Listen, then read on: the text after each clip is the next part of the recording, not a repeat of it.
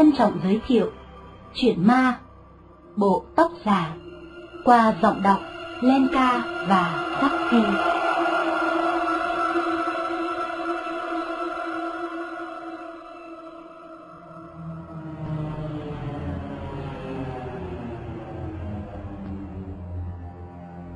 Huyền gần như rên rỉ.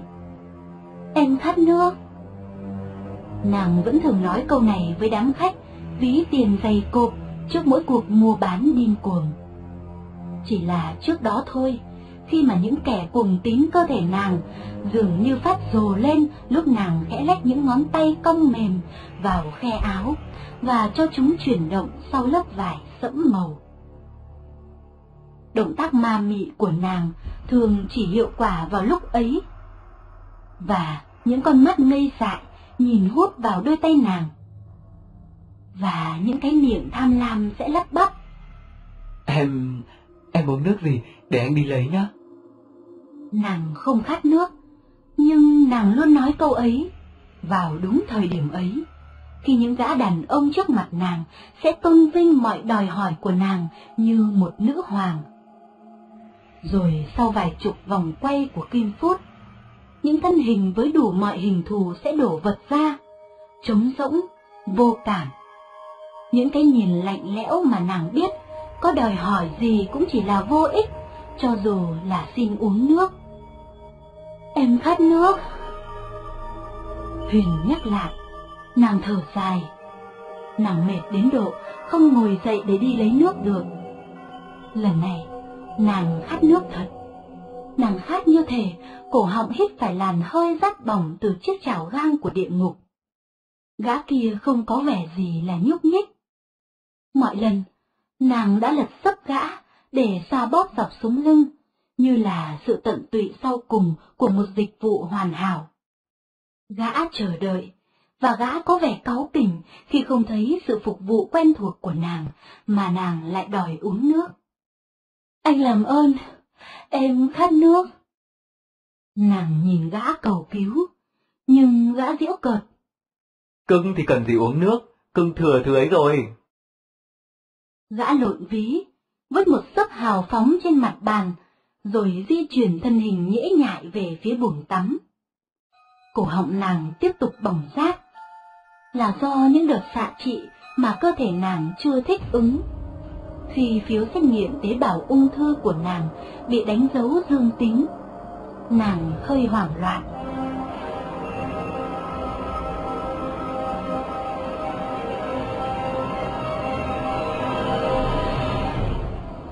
Nhưng cơn sang chấn chỉ kéo dài có một ngày.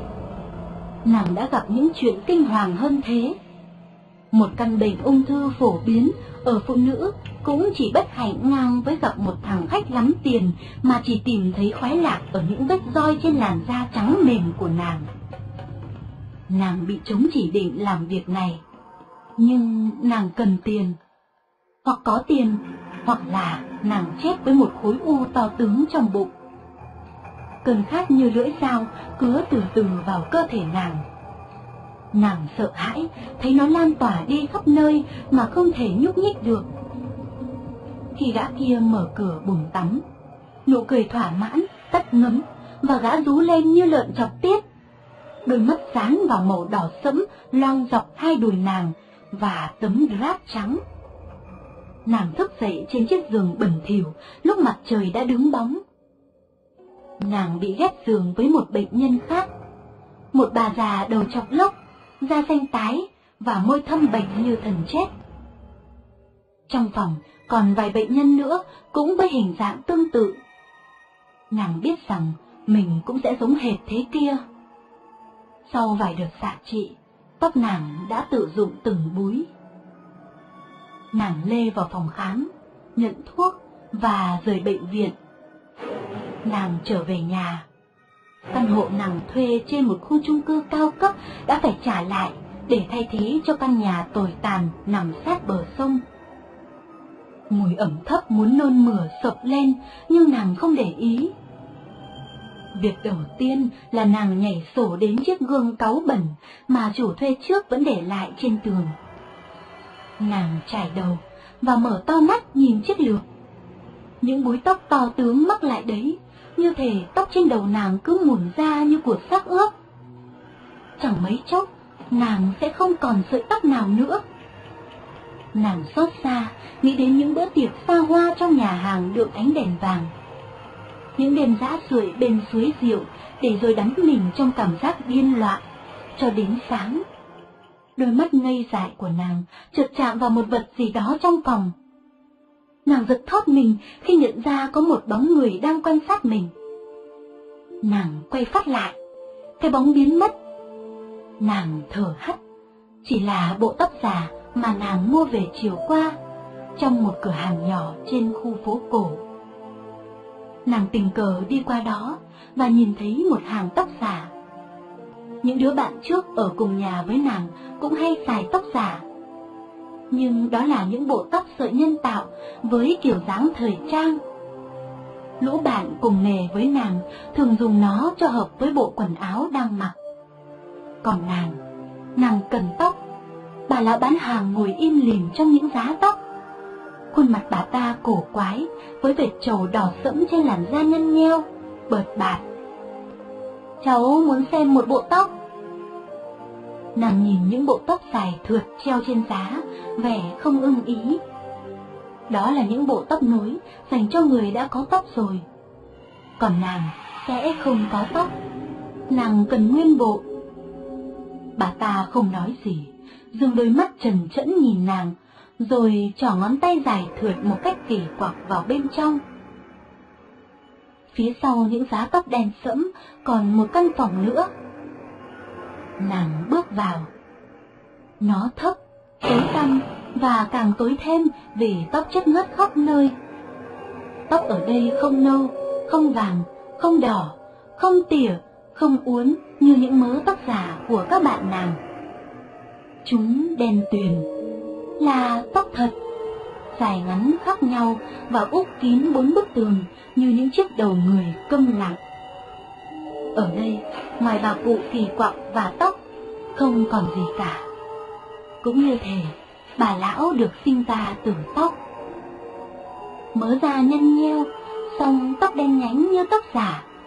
Bà ngồi lẫn vào tóc, vẻ cam chịu ngày này qua tháng khác sàn đất đặt quánh lại, vương đầy sợi tóc rụng, khiến Huyền không thể đoán nó được nện bằng chất liệu gì. Nàng với tay lấy một bộ ngắn ngang cằm, qua ánh đèn lờn lượt. Nàng chụp thử lên đầu, rồi ngó vào chiếc gương trang điểm trong sắc tay. Nó khiến nàng trông như một đứa trẻ nhanh nọc với những sợi tóc chĩa ngang hai bên. Nàng định thử bộ thứ hai, nhưng sợi tóc trong tay nàng khô ráp dị thường, lại lẫn thêm vài sợi bạc. Nàng dùng mình, treo trở lại lên giá. Bà lão chừng như sốt ruột vì nàng chọn quá lâu, đã đi vào căn phòng thứ ba phía đằng sau. Thì ra, đó là một cánh cửa được treo kính tóc lên để tiết kiệm diện tích. Bà ta biến mất, rồi xuất hiện với một mớ tóc dài xõa sượi trên cánh tay xương sầu người bán hàng lấy chiếc lược sừng trong túi, trải lại mái tóc. Những sợi tóc xòa xuống, mượt mà. Bà ta âu yếm, như thể đang trải đầu cho đứa con gái. Huyền cúi thấp người, để bà cụ nhỏ bé giúp nàng chụp mớ tóc lên đầu. Những sợi tóc mềm mại, quệt qua quệt lại trên vai nàng mát rượi. Bà cụ lại biến mất sau cánh cửa và lần thứ hai, bà trở ra, cầm chiếc gương hình bầu dục để nàng soi. Mắt kính trong vắt đến độ, nàng có thể nhìn rõ từng sợi tóc vương vít. Khuôn mặt hơi tái của nàng chìm lìm trong sóng tóc. Nó đã mất cái vẻ khơi gợi đến trơ trẽn mà chính nàng cũng nhận ra thế. Một người đẹp trong gương, quyến rũ, với đôi mắt buồn bã đang nhìn nàng chằm chằm và những lọn tóc khuôn lấy đôi gò má xanh xao. Cháu lấy bộ tóc này, bao nhiêu tiền vậy cụ? Già bán lược, không bán tóc, tóc là để tặng. Huyền sừng sốt nhìn chiếc lược sừng trong tay người bán hàng. Nó màu trắng và đơn giản như mọi chiếc lược khác. Bà cụ đã ra giá rất đắt, nhưng Huyền mừng rỡ vì nàng được tặng cả bộ tóc mềm mại. Nó còn đẹp hơn cả mái tóc trước đây của nàng. Huyền chụp lại mớ tóc lên đầu, nó làm nàng thấy tự tin về nhan sắc, nhưng nó mang lại một cảm giác bất an mà Huyền chưa thể định hình được. Khi nàng soi vào gương, ánh đèn vàng quạch phản chiếu một gương mặt đẹp, nhưng không còn sức sống. Nó rất phù hợp với căn phòng lạnh lẽo này. Huyền uống vội mấy viên thuốc và lên giường nằm. Nàng để nguyên bộ tóc, nó vắt tràng lên người nàng như một chiếc chăn.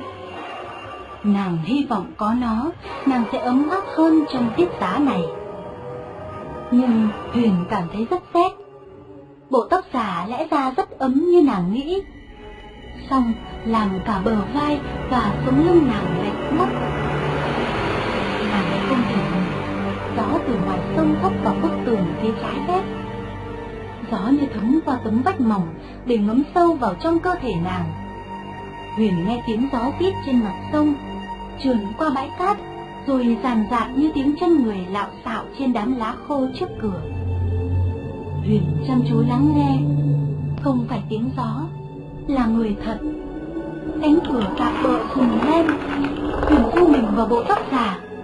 Nàng không sợ, bao năm qua nàng giao phó thân mình cho những kẻ xa lạ chưa một lần gặp, ở những chốn xa lạ chưa một lần đến.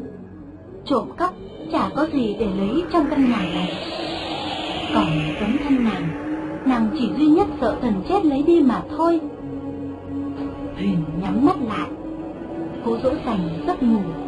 Bộ bảo dạ, một thằng đạo trích hạng bét nào đó đang vắt vọng bên ngoài tốt lều thảm hại, duy nhất ở khúc sông này.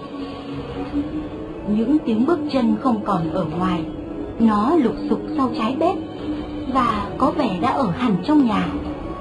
Huyền mở tròn mắt, nàng không nhìn thấy ai, nhưng lần này nàng kinh sợ vì những bước chân gấp gáp hơn. Nó lộn đi lộn lại và âm thanh đã dồn sát đến chiếc giường của nàng. Nàng cứng người trong bộ tóc và lớp chân mỏng, vài sợi tóc xòa xuống má nàng, lạnh toát. Căn phòng chìm vào tĩnh mịch, chỉ còn tiếng gió hú ngoài sông. Chúng luồn qua dặm tre và lào xào vào nhau thành những tiếng rên rỉ. Huyền cảm thấy cái luồng hơi lạnh vô hình đang đứng trước mặt, im lặng quan sát nàng.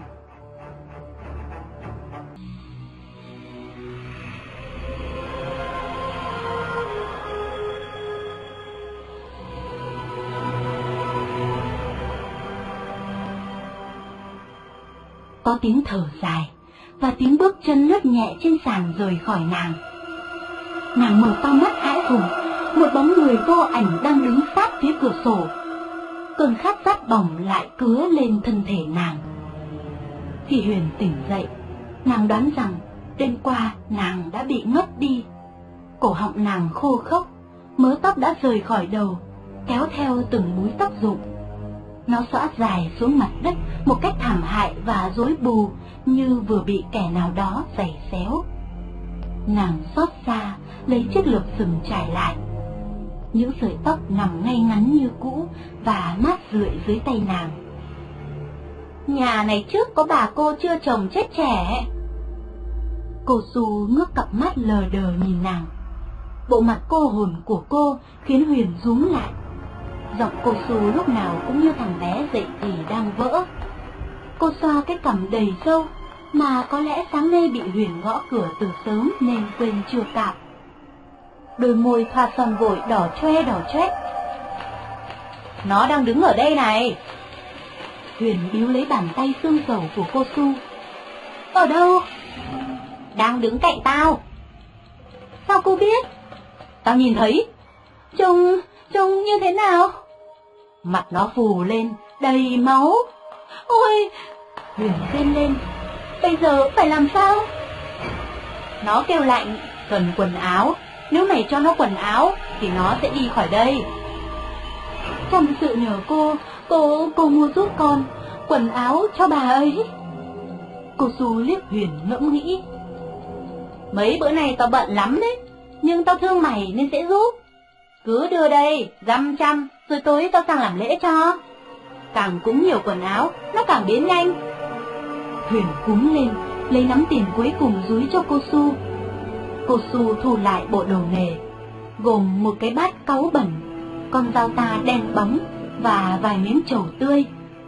Huyền tiễn cô Su ra tận cửa. Từ lúc chưa chuyển nhà đến đây, Huyền đã biết cô Su. Danh tiếng của cô lan truyền khắp xóm bãi. Bận trước, nàng và các bạn cũng vài lần ghé cô những lúc rỗi rãi để xem tiền duyên vận mệnh. Là một đồng cậu khó tính, cô Su chỉ tiếp những người nào kiên nhẫn, xếp hàng chờ cô trước hai ngày. Sáng nay, nàng may mắn mời được cô đến tận nhà. Có lẽ cô Su động lòng trước bộ dạng thảm hại của nàng. Huyền nhắm mắt lại, rồi chìm vào giấc ngủ nhanh chóng. Hơi thở của nàng đầy mệt nhọc. Lễ cúng tà an ủi tâm trí nàng, khiến nàng yên tâm hơn mà ngủ. Nàng mơ thấy cô Su lúc chập tối, trong bộ quần áo mớ ba mớ bảy ngũ sắc. Cô để tóc xõa xuống ngang lưng, nhảy nhót điên cuồng, vẩy thứ nước cho đốt từ lá bùa do cô tự viết bằng một chữ nho mực tàu vào bốn bức tường xung quanh. Nước trò bắn vào mặt Huyền nồng khét, tiếng hú của cô Su lan xuống mặt sông vắng lặng, rồi hắt trở lại. Trộn lẫn tiếng gió rít qua ngọn tre, tạo thành một âm thanh quái đản. Chừng nửa tiếng, cô dừng lại, thở hổn hển và bê đám quần áo mã ra bên ngoài đốt. Lửa cháy bùng bùng, những lưỡi lửa liếm vào mũ mão cân đai đủ màu xanh đỏ rồi bốc lên cao. Cái miệng đỏ chót của cô Su lẩm bẩm theo từng món đồ được vứt vào giữa đống lửa. Cô Su ném chiếc hài cuối cùng. Ngọn lửa thoát lên rồi liệm dần, liệm dần. Cái hơi ấm áp của đám lửa đốt mã không còn nữa, khiến Huyền lạnh run người. Đám trò xoáy theo làn gió, rồi tả tơi về phía rìa sông. Cô Su thì thào. Nó vừa mặc quần áo, tao thấy nó đi rồi, bay về phía ngọn tre kia kìa. Cô vẫn đứng yên lặng, mắt nhìn hút về dạng tre sát bờ nước. Cô quay lưng về phía Huyền. Bờ vai rộng lừng lững và mớ tóc dài khiến Huyền thấy cô kỳ dị. Thốt nhiên, mái tóc của cô bị gió thổi tung, chúng xoắn xít vào nhau rồi rời ra, vướng vào mặt Huyền. Những sợi tóc bay lật phật làm Huyền rát bỏng. Nàng lấy tay hất chúng ra, nhưng vô ích, gạt được sợi này lại bị sợi khác vướng vào. Mà tóc cô Su có vẻ như càng lúc càng dài ra, chúng dài ra thật. Những búi tóc ngoằn ngoèo như rắn chui cả vào cổ áo nàng răm giác. Và như một sinh vật sống, chúng cuộn tròn vài vòng quanh cổ nàng rồi siết chặt. Nàng hót sặc sụa, nghẹt thở, miệng nàng há ra để hớp lấy không khí. Xung quanh nàng không có gì để bám víu, nàng vùng mạnh người. Huyền chẳng mở mắt, thì ra bộ tóc giả mà nàng có thói quen đội lên đầu lúc đi ngủ đã vướng lên cổ, và khi nàng nằm đè lên một đêm tóc, chúng thít chặt lấy nàng như một sợi thừng vững chắc. Cơn khát bắt đầu đốt cháy cổ họng nàng. Huyền quờ chân tay xuống mặt sàn lạnh cống để tìm đôi dép, miệng lẩm bẩm một câu vô thức quen thuộc. Em khát nước. Khi chân nàng đã sỏ vào đôi dép cao su buốt như nước đá, Huyền cố nhướng mày để mở to cặp mắt ngáy ngủ. Nhưng một tiếng thở dài khiến nàng khựng lại. Một cái bóng bất động đã lơ lửng ở đầu giường nàng từ bao giờ. Nó vẫn lờ mờ vô ảnh. Và khi nàng bật tung cửa để chạy băng trên bãi cát xuống nước sang nhà cô Su, cái bóng lởn vởn rõ hơn trong đầu nàng là một người đầu chọc lóc không có tóc. Nó, nó đứng ở đầu giường. Nàng bật khóc. Cô Su cất cái giọng ồm ồm, giờ khản đặc đi, chắc do cô cảm lạnh. Mày cho nó ít quần áo quá, tao đã bảo rồi, thôi về đi, mai mốt đốt thêm vàng mã thì oan hồn khắc tan. Cô Su đóng sập cửa, Huyền lùi thủi quay lại. Nàng không còn tiền để đốt thêm mã. Nàng cũng không thể rời căn nhà mà người chủ thuê bắt nàng trồng tiền trước cả năm. Nàng không còn chỗ nào để đi, Huyền bắt đầu ngấm lạnh. Mớ tóc giả đã rơi khỏi đầu nàng từ lúc nào? Nàng vuốt lên, những sợi tóc rụng lả tả xuống kẽ tay nàng, từng búi, từng búi.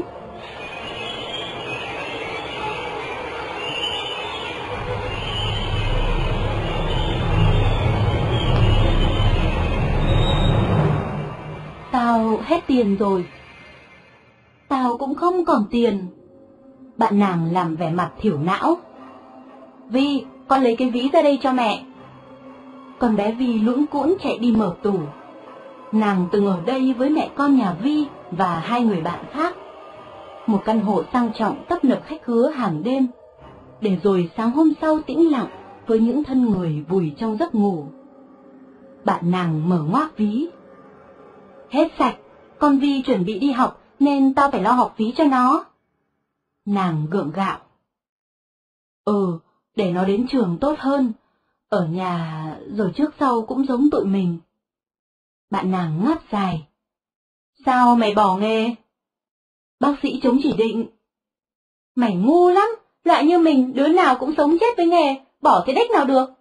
Hồi tao có bầu con Vi, sắp đẻ đến nơi vẫn còn kiếm được tiền, để tao giới thiệu khách cho mày nhé. Nhưng mà mày phải chấp nhận, sẽ không được khách xịn như ngày xưa đâu.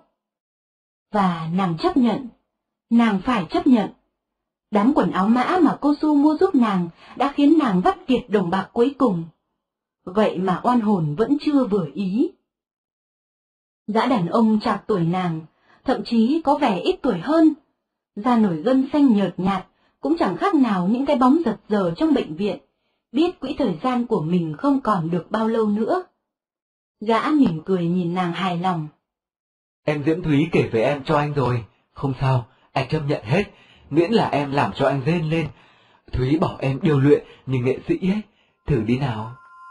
Gã tuột chiếc quần jean xuống đầu gối, rồi ấn nàng quỳ xuống đất. Hai con bọ cạp xăm mực tàu trên bụng gã đã ở ngang mặt nàng. Cơn khát rát bỏng lại từ từ cứa lên cổ họng. Lần này, chúng cuộn mọi thứ lên từ dạ dày, và nàng phải lấy một lọn tóc giả chặn ngang cổ để ngăn cơn ói bắt đầu trào ra. Nàng ngước mắt nhìn hắn van xin. Anh tắt đèn đi được không? Hắn cúi xuống, khuôn mặt bệnh hoạn lộ vẻ khó chịu. Em đúng là một con đĩ, thích học đòi khuê cát. Nhưng vẫn với tay tắt đèn. Hai con bọ cạp biến mất, toàn bộ cơ thể nàng chìm vào bóng tối.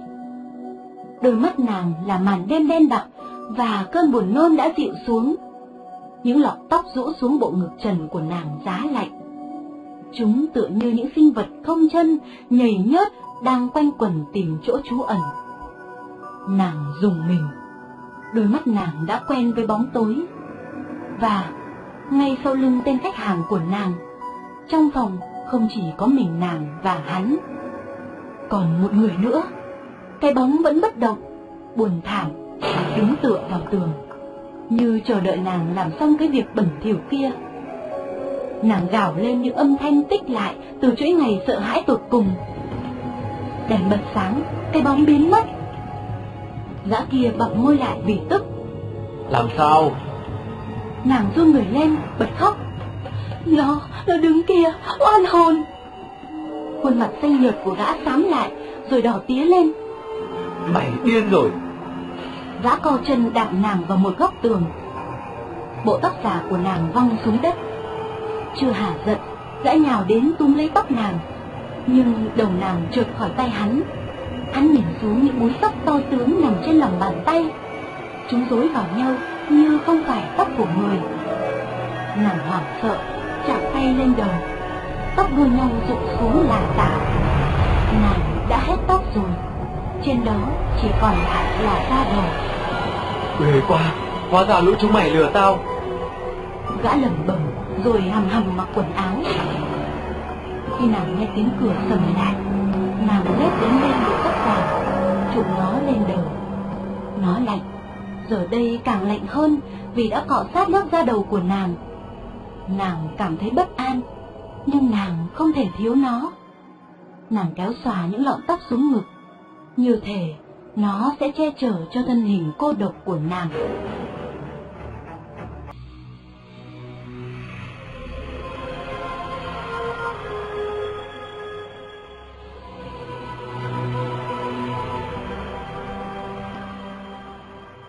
tay chuyên viên phòng X-quang có đôi môi thâm xì và ánh mắt hằn học lạnh lùng, ra lệnh cho nàng. Cởi áo ra. Nàng đã làm việc này cả ngàn lần, nhưng trước vẻ thản nhiên kỳ quặc của hắn, nàng lúng túng. Hắn bực dọc quát lên. Cởi áo ra rồi treo ở cái móc kia, không ai thèm nhìn. Hắn không thèm nhìn, hẳn nhiên rồi, hắn cũng đã ra lệnh này đến ngàn lần. Vẻ mặt của hắn giống hệt như cỗ máy trong phòng, xám xịt, trơ lì, vô cảm. Hàng ngày tiếp cận hàng trăm kẻ ép mình vào máy với những khối u trong người. Nàng làm theo lời hắn, rồi rúm gió đi lại chiếc máy. Buộc tóc lên. Nàng ngần ngừ, rồi tháo bộ tóc giả treo lên giá. Nàng len lén nhìn hắn, nhưng khuôn mặt như có thể tháo ra, lắp vào thành robot, không có vẻ gì để ý đến cái đầu chọc lốc của nàng. Nàng không có tóc, xấu xí, mang dáng dấp của kẻ sắp được thần chết rước đi. Hay có mái tóc bồng bềnh như thần vệ nữ, với khuôn ngực nóng bỏng cũng như nhau với hắn cả thôi. Nàng nhét vào túi áo trắng của hắn một tờ tiền, nhưng tờ tiền cũng không làm hắn thay đổi sắc mặt. Sáng nay, bạn nàng đã đưa nó cho nàng. Tao quyền góp cả đám mới được ngần này. Thôi, mày dám mà chịu đựng. Đối với lũ mình, sống hay chết cũng như nhau cả thôi. Chỉ có điều, đứa nào giỏi lửa thần chết thì đứa ấy may mắn. Thả người lên, giang hai tay ra. Gã quát to, rồi vội vàng chạy ra ngoài đóng cửa lại. Chiếc máy bắt đầu hoạt động. Nó áp sát lên cơ thể nàng, lạnh như băng. Nàng thấy nó cũng có cảm xúc, nhưng là cảm giác thích thú của một cỗ máy giết người khi tìm được khối u ác tính trên vật chủ. Bốn bức tường sơn màu xám, trống trơn, u ám.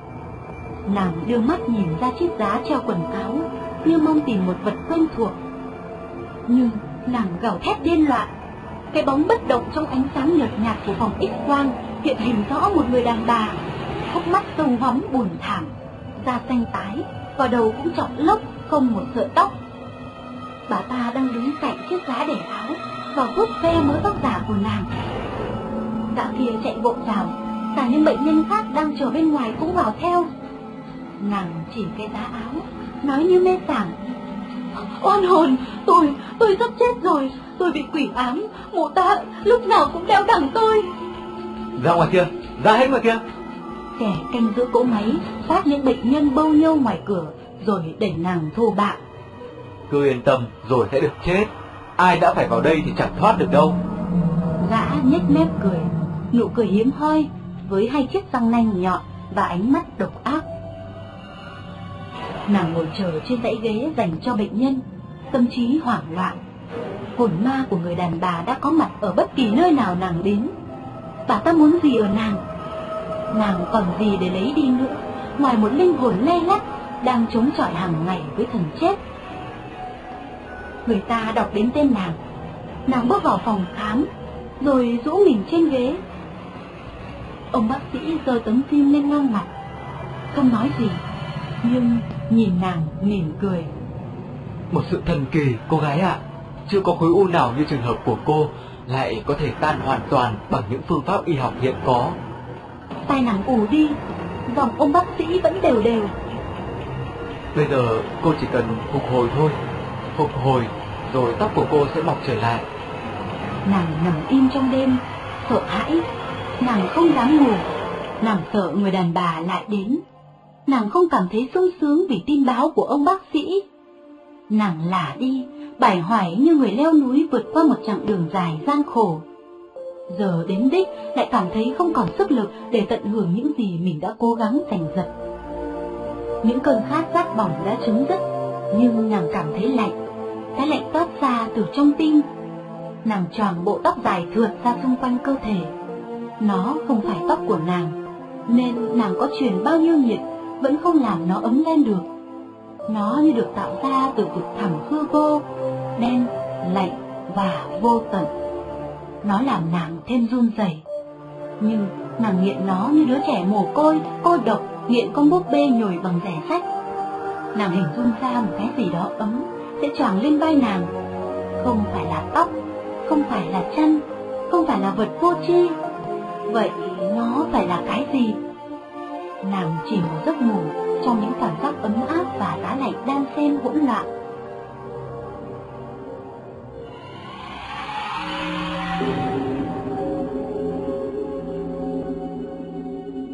Đêm hôm đó, người đàn bà có hốc mắt sâu, sầu thảm không xuất hiện. Đêm hôm sau, bà ta không đến. Những đêm sau đó, nàng đã quên mất bóng ma hãi hùng đã ám ảnh nàng điên loạn. Nàng ngủ ngon giấc, tóc nàng mọc dài dần, nhưng hàng đêm nàng vẫn cuốn chặt những lọn tóc giả quanh mình như một thói quen không thể bỏ. Khi nàng đến bệnh viện nhận kết quả xét nghiệm cuối cùng, cơ thể nàng đã không còn chút dấu vết nào của cái vật chết người kia nữa. Nàng về nhà, vào lúc chiều muộn. Những cơn gió bấc cuối cùng của mùa đông tranh thủ tạt nốt những gì còn sót lại từ phía bên kia sông. Nàng co do đi trên mặt cát, túp nhà tiểu tụy của nàng đã thấp thoáng, sẫm lại dưới ngọn tre. Dưới đám mây vẩn vũ đang xả thấp xuống, mái nhà như kẻ tội đồ chờ sự phán quyết. Nàng dừng lại, ngắm nhìn nó, cho đến tận lúc nó lẫn vào bóng tối. Nàng mới vào nhà. Tim nàng thắt lại, cửa nhà nàng không khóa, nàng đứng tựa vào cây cột trước hàng hiên, nghẹt thở. Cánh cửa hút gió vẫn mở ra đập vào chan chát lên mép tường. Nàng nhìn vào trong nhà, có ai đó đang ngồi trên giường của nàng. Nàng bước như thôi miên qua bậc cửa. Người đàn bà thở dài, nhìn nàng buồn thảm. Cái bóng trắng bệch của bà ta hiển hiện trước mặt nàng. Cho, cho tôi xin lại tóc. Tôi cần tóc. Tôi lang thang, tôi cô độc. Tôi lạnh lắm, hãy trả lại tóc cho tôi. Nàng chạy như điên như dại ra khỏi ngôi nhà, mây đen vẩn vũ như sắp đổ ụp xuống đầu nàng. Gió từ trên ngọn tre thổi theo tà áo phần phật của nàng những tiếng rít ai oán. Tóc của tôi, tóc của tôi, trả lại tóc cho tôi. Nàng đã đảo đi đảo lại khúc phố này tới 10 lần, mà không thể tìm thấy cửa hàng tóc với người bán hàng kỳ dị. Lần trước, nàng đã tìm thấy nó ngay góc phố, dưới chân cột điện. Vì thế, nàng không thể lầm. Những người bán hàng trong các shop thời trang đông đúc ở khu phố tỏ ra cấm cầu khi nàng hỏi thăm. Thời buổi này muốn mua tóc thì ra siêu thị, mười năm nay không ai dạy gì thuê nhà ở đây để bán tóc. Nàng thất vọng, mua một chiếc vé lên xe buýt. Nàng chưa biết đi đâu, nàng không thể trở về căn nhà hãi hùng đó. Bộ tóc giả và chiếc lược sừng đã được cho vào một chiếc túi gọn ghẽ. Nàng lùa tay vào túi áo, tay nàng chạm phải một mẩu giấy. Sáng nay, nàng tình cờ gặp lại người bạn cũ, cô ta kéo nàng vào một quán cà phê. Lâu quá rồi không gặp mày, có nhớ nghề không? Cô ta cười ré lên, nàng ngậm ngụm cà phê đắng ngắt trong miệng. Không, tao tìm được việc rồi, cũng ổn. Người bạn đưa cho nàng địa chỉ. Nhà mới nhé, lúc nào cần cứ đến. Nàng mân mê mẩu giấy trong túi áo. Nàng tiến lên đầu xe để quan sát xem chiếc xe đã đi tới phố nào. Bỗng nhiên, một cái gì đó chạm vào cổ tay nàng. Nó rất ấm, lâu lắm rồi nàng không cảm nhận được cái gì đó ấm, và sự ấm áp khiến nàng dùng mình. Nàng quay lại, một người đàn ông đang nhìn nàng. Tôi nhường chỗ cho cô nhé. Hẳn là anh ta nghĩ nàng đang đi tìm chỗ. À không, tôi cũng có chỗ. Nàng trở về hàng ghế của mình, nơi nàng đã đặt cái túi để giữ chỗ lúc đứng lên. Nhưng toàn bộ ghế trên xe đã kín người ngồi, và nàng không thể nhớ chiếc ghế nào là ghế của mình. Còn chiếc túi, nó đã biến mất. Người ngỏ ý muốn nhường chỗ cho nàng tỏ vẻ lo lắng.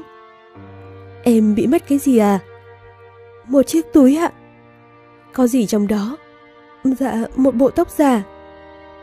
Không sao, mình sẽ cùng tìm. Nàng thở hắt ra. Thôi, em cũng không cần đến nó nữa. Chiếc xe bỗng phanh khựng lại, những người trên xe rúi ra đằng sau, và trong khoảnh khắc xô đẩy láo nháo, nàng thoáng thấy một người phụ nữ có mái tóc giống hệt mớ tóc giả của nàng lướt đi bên ngoài cửa xe, chỉ là một khoảnh khắc. Nàng nhòi ra sát cửa kính, Chiếc xe đã nhanh chóng sang một con phố khác và bên ngoài, bóng người đi bộ trên vỉa hè đã thưa thớt. Họ vội vã trở về nhà để trốn cơn lốc hiếm hoi đang ập đến cuối mùa đông này.